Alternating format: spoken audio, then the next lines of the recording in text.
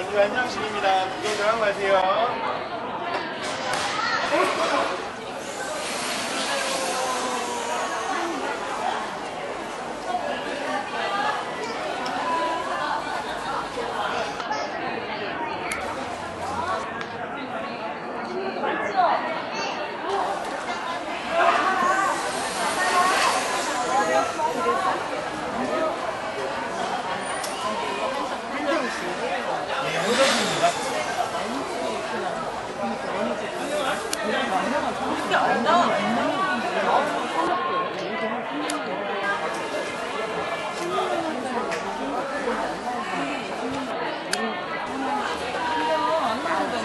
이거는 지금 한 20만 원에 30만 원대라고 보시면 돼요. 그러니까, 그러니까 봐봐 2, 30만 원, 16만 원 나왔는데 16만 원짜리 먹었는데 이렇게 안 나왔어 이제 업소마다 여러 가지 업소가 있는데 업소마다 그 계절마다 조금씩 나오는 게 수가 있어요.